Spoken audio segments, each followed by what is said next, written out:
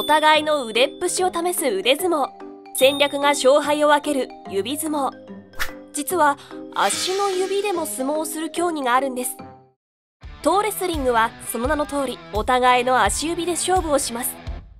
1974年にイギリスの酔っ払いたちが考案したと言われており今では毎年世界選手権も開催されるほどの人気っぷり。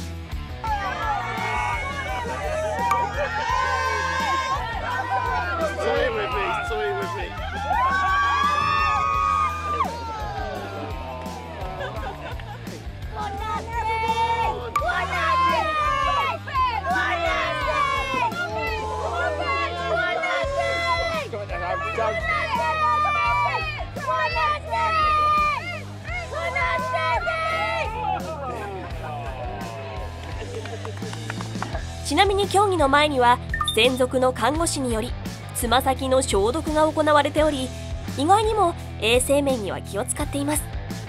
誰でも気軽にプレイできますので是非やってみてはいかが。